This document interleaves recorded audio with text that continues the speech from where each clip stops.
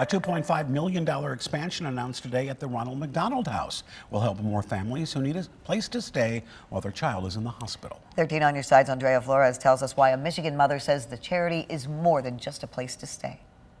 The charity has served more than 10,000 families since it began 33 years ago today, but the need is growing every day. Simply put, we just need more space. The Ronald McDonald House of West Michigan is planning to add eight more rooms to their 17 room facility through their More Rooms, More Love campaign. And year by year, the demand for our services has increased.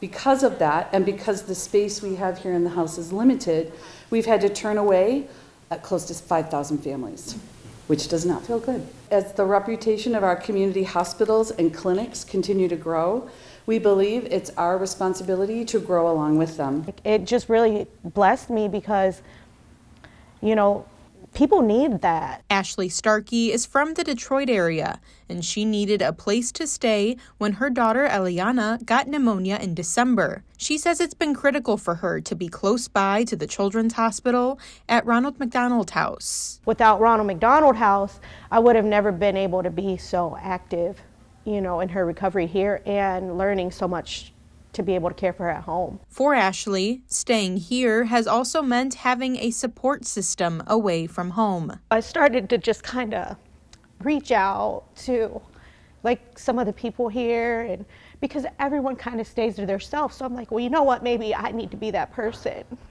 because you're here. You need someone to kind of have that that knows what you're going through. With eight more rooms, they hope to host an additional 150 families per year. Right now, the charity's $2.5 million campaign is 78% funded.